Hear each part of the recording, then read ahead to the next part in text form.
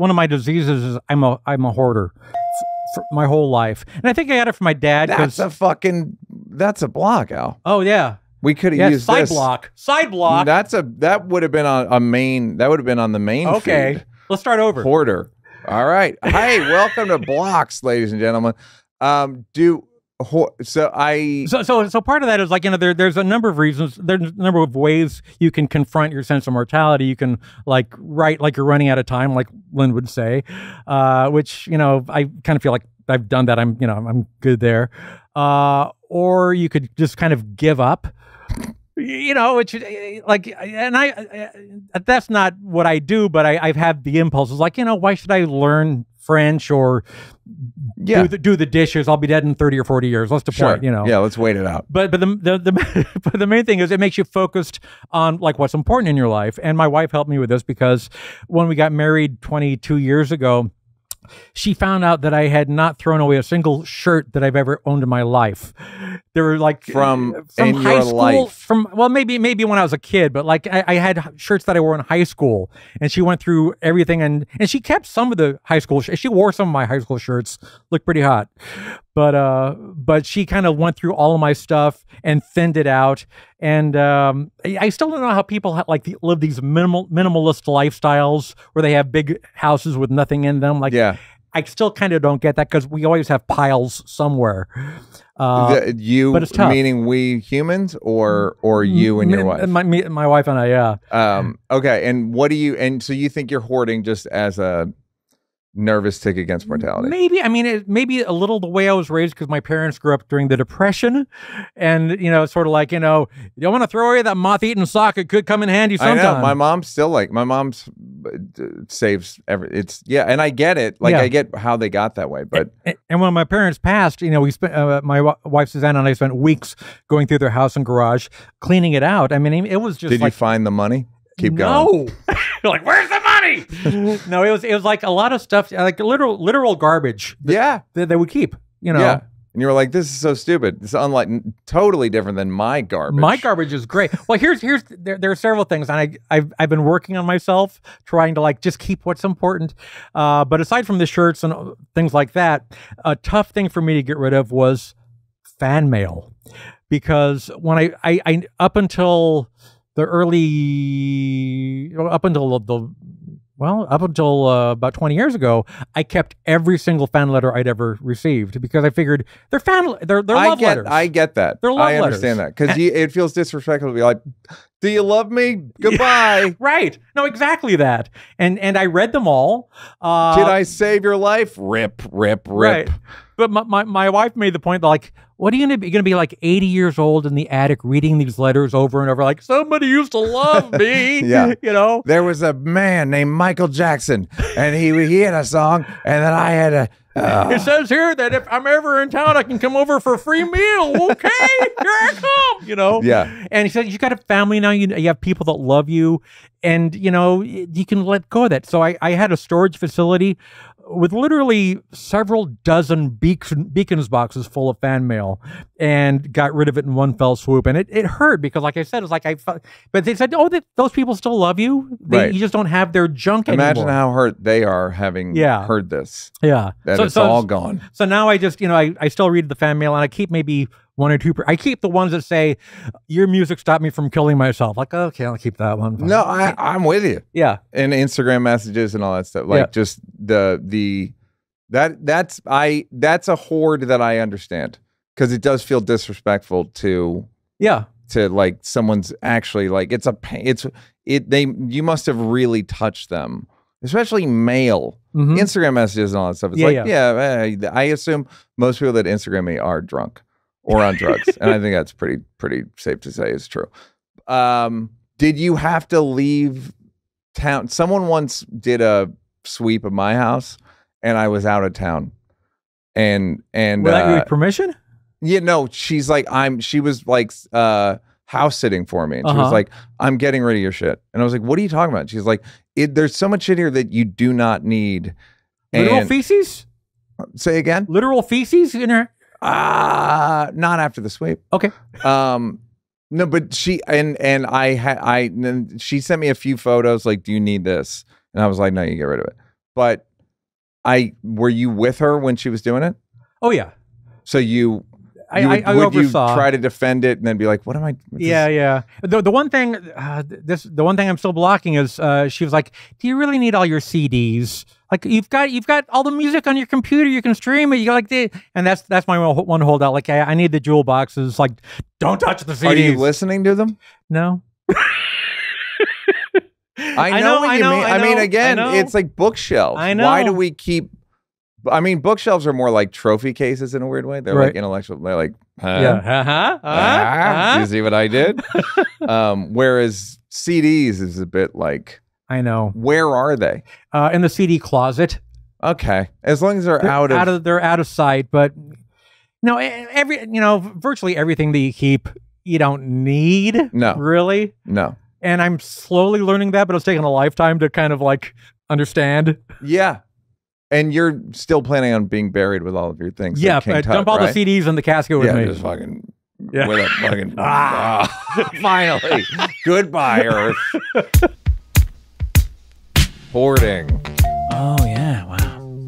hoarding. That's not easy where you were living. Not a lot of room to hoard. I know, I know. Although high ceilings in that in that building, I remember. oh, I mean, I have really high ceilings now, but I also my problem is I well, I mean, I you do- live in a hoarder's loft, they call it.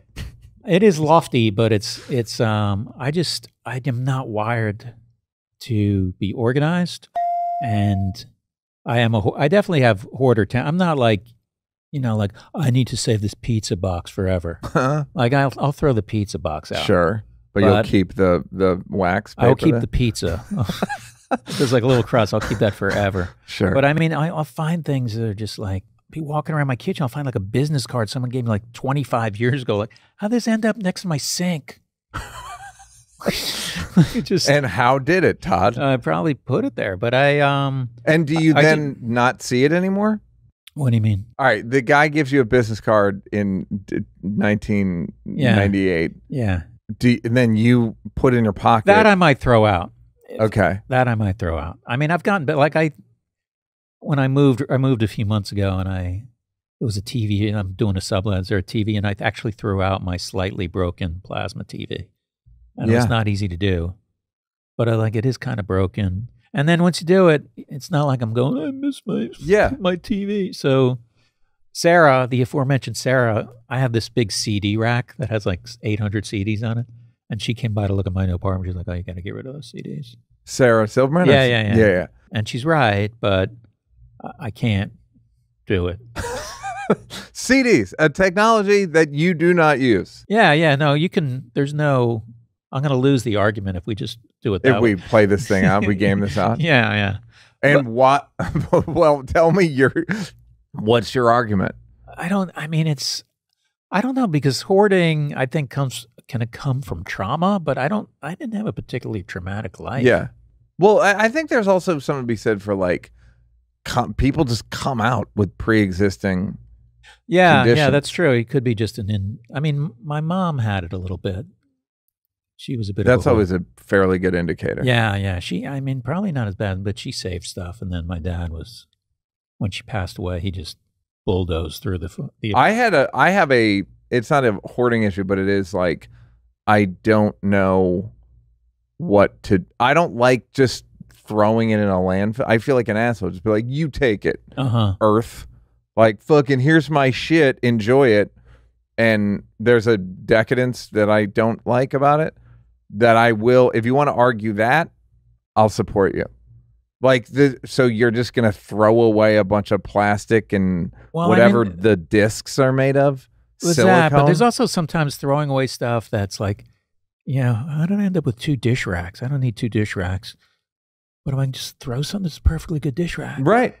But well, it's also like, what am I going to do? Like, bring it to the Salvation Army? And Yeah. I guess I could. Yeah. But that'd be feel a little weird just walking. Got a dish rack for you guys. Where's your dish rack section? uh, I'm going to say 75 cents on this. Fairly clean. But yeah, I mean, I have storage units and Here we go. I Yeah, mean- there. Yeah, storage units of stuff that you can't throw away. I know, like I was thinking, I go, I'm, there's some of this stuff, a lot of this stuff I'm never going to see for the rest of my life, Uh huh. but I'm saving it. I think I have this mythic day that I'm going to sit down with. I mean, I've hired home organizers many times. I should say that.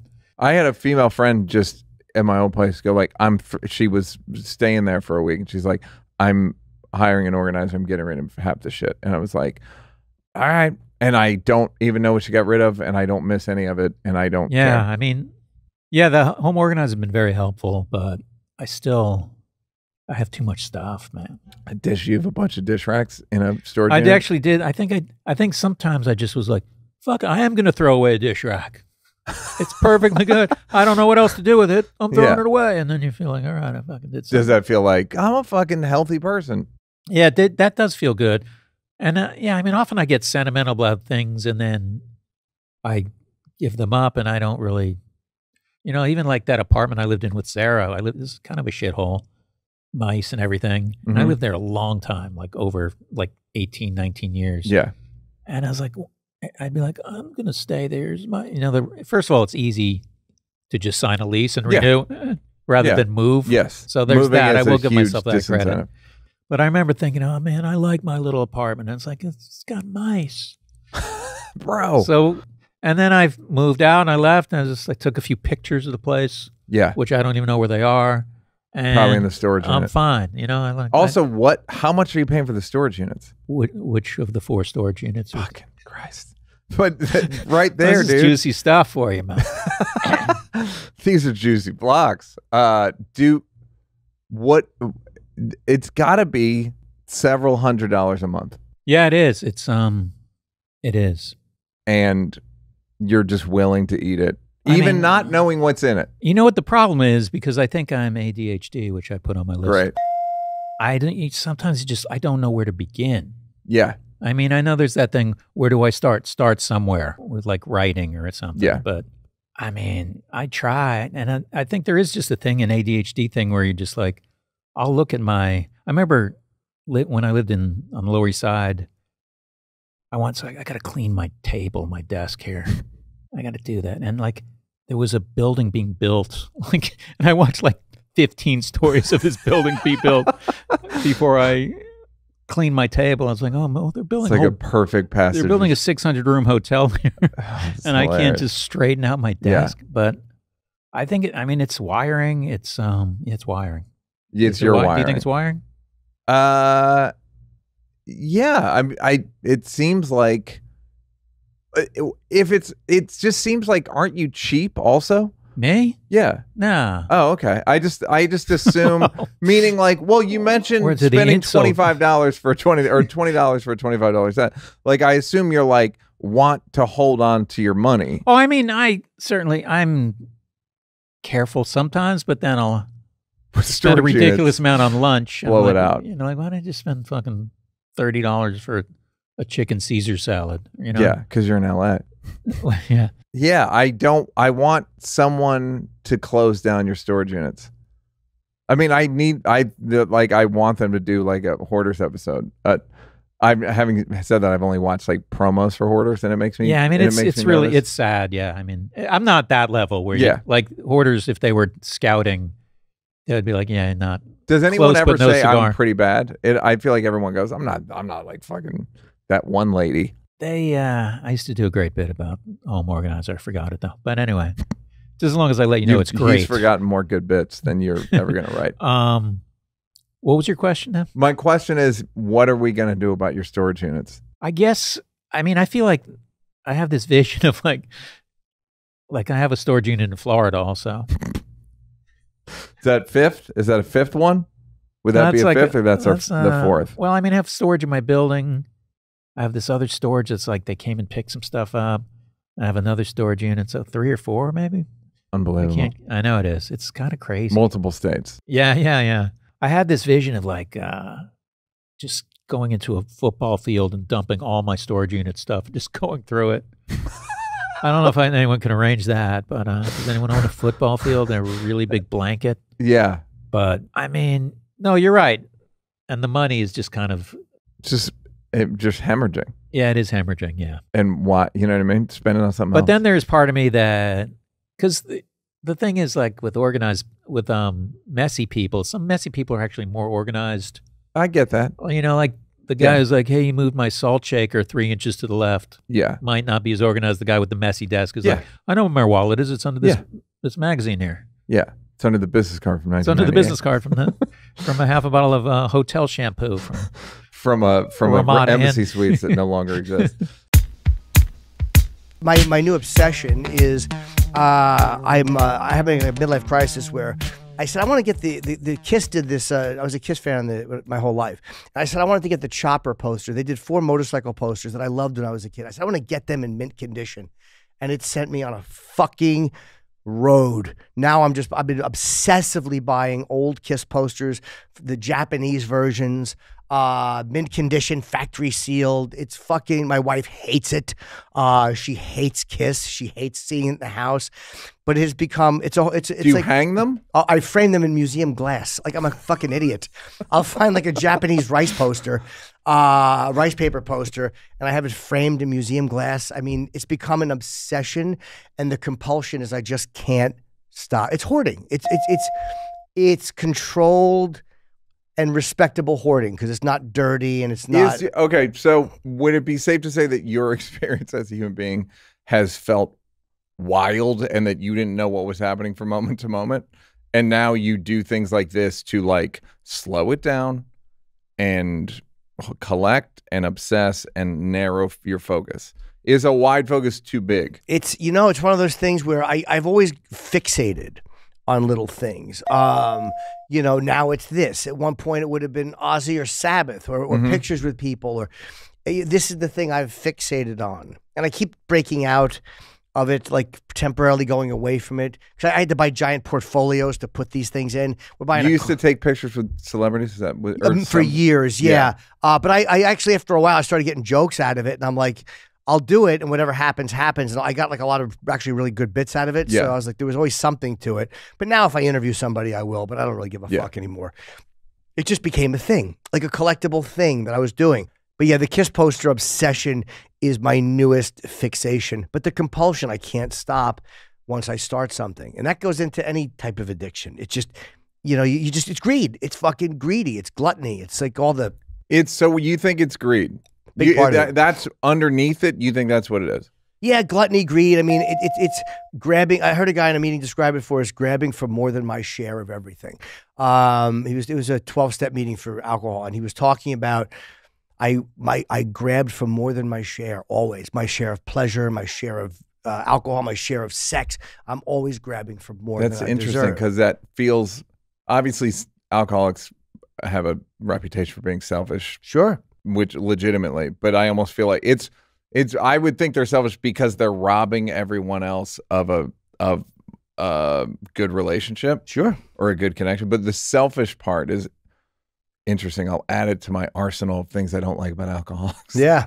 but, Yeah. but, but very like, fru- I- we're, we're frustrating people. Obviously, it's it's uh, because again, there's unpredictability, uh, which no one likes. Well, the, but it's but it's the but that's the part is the the thing that makes me sympathetic to alcoholics is like they have a feeling they're trying to get rid of, and so they're dulling it, right? Yeah. But if the feeling, um, but this almost feels like uh ne- like very aggressively hostile. Like I want everything. I don't want you to have anything. yeah, or it's just that the bottom line is the hole you're trying to fill. You don't realize has a hole in the like the the cup you're trying to fill has a hole in the bottom. So you're always throwing stuff into it, and the worst the worst crime of it is not that there's a hole in the bottom which makes it unfillable. It's the fact that the hole is small, so you you think you're gonna fill it. Like it's just you don't ever look at it and go, "I'm empty," and I need to do ten thousand things. It's always like the one more, the fucking one more, that one more high, that one more fucking jerk, like the one more. If she sits on my face and I smell her ass and it's this, then I'm done. You keep looking at like the rim of the cup as if it's almost full, but then it goes down a little, and then you have to keep going, and then it goes down. And So- you can't accept that it's not. You can't accept a three quarter full. No, it's that's where that's where that greed comes from too. But that's the part they always talk about, like the the hole that you're trying to fill. But I realize that the hole it it gives you the illusion that you can fill it by by always Right. hovering below the surface, and that's what drives you crazy because it's like a lot of times it's that one poster. I just got to get one. There's a Japanese poster by a company Yep, called and then Victor. that's we'll shut it down. I'll have it. But I've gone through that already with another poster, and I got it. And then all of a sudden, the obsession started again. Just this one. Like I don't look at 500 posters. I gotta get 500 posters. It's fucking fascinating because I've never heard anyone describe it like that. Yeah, but that's to me was the, that to me is the curse of it. Is is the uh, because long long ago you learn that early in recovery is that I uh, this they call it a God hole. You can call it whatever you want to call it. We're filling it, filling it, and there's a hole in the bottom, so you can never fill it. But it's the, the it's that itch of it always being close to being there, and then like you're looking for that moment, like done. I'm done. I've done it. I can put it on the shelf, and it's a completed work. So did is part of it just accepting that it's unfillable and that's a futile any effort to fill it is futile. Don't start. I guess so, but it's easier said than done because I know it. And again, I heard a speaker say one time, knowledge is no defense against the first drink. And I always remember that was 1989. He said that. This guy, Ted, in a fucking convention in New Jersey. Knowledge is no defense. Like knowing it helps you not do it, but I have to. I have to not do it. Like just knowing that I'm compulsive isn't enough. I have to Well, there's stop so many things it. that are like that, which Yeah. is I was just in Vegas and it's like people can't resist it. Mhm. They know that this whole place is built on people thinking they could win and losing. Yep. and they cannot resist it. And to even open it up, like I won't do gambling ads on here because it's like, this is not good. Yeah. It's not, people can't resist it. And then people go, well, and they drink responsibly, or, and some people can, but a lot of people can't. Yeah. Do we need to build the world for the people that can't? I don't know. But I think some things are so insidious that you kind of have to uh, make allowances for those people. You do. It's kind of cruel not to. And we're, I don't know. I'm of two minds. Like it's cruel or, you know, it's life's cruel. adults have to make adult choices. Like, uh, and again, I'm a person who makes a lot of poor choices. I have historically, but it's always been on me. Always. I mean, um, I understand cigarette ads targeting kids is one thing, but I don't gamble because I, I went to Vegas one time and I put a dollar on like one of those stupid wheels, like Yep. and it landed on a dollar. So I won, and the or no, it landed on twenty, and I won twenty bucks. And my first thought was, I should have fucking put down twenty. I would have won four hundred. The first thing I thought, and I Yeah. realized that's what this is. Yeah. That's how it happens. It's never enough. And uh, when you lose, you just keep, you have to get even. The cup is almost full. Let me just get this money back and I'll be done. It's a completed What's work. the saying? One's too many and two's Thousands not, not enough. Yeah, oh, Yeah. oh, the different number. Yeah. The one I heard was uh, this guy Wayne, who my sponsor used to like pick how me. you remember everyone's name. I remember weird things, um, but this guy Wayne, uh, he was a weird guy. Would smoke. He was very mentally ill. I didn't know at the time. I was eighteen, but uh, he would. He's the first guy I heard say that. He goes, "One's too many and a thousand's not enough." And I'm like, "Yep, that makes Yeah. perfect sense." and that's the cup thing, right? Yeah. Basically, like Avoid the first and, one. And so you know that you cannot fill up the, and it's it's just an unease. You're trying to get like this fucking poster. This is going to solve it. the way that it gets filled up or it actually does work is like if you're if you're whatever your version of sober is for a person if it's gambling if it's sex if it's drugs whatever it is if you're doing something and trying to live a more spiritual life and by spiritual again just being good to other people Mhm. being faithful to your wife being helpful like it really does take that buzz away like you know i don't have the mania of of, of addictive thinking when i'm having a good time with my wife um, and we're having sex, I'm not always thinking like I gotta. Do-" But when I start feeding into that, like when that's when I'm in, I'm in trouble. Hey, did you like that? Did you like that? Yeah, did you like it though? You want more? Don't want to work? Would rather watch videos of me grab assing with people? First of all, go up here to subscribe, and then go up here to uh, watch more clips. This is like when the weatherman says there's a high pressure system coming in. I'm a little, I'm not really used to the green screen.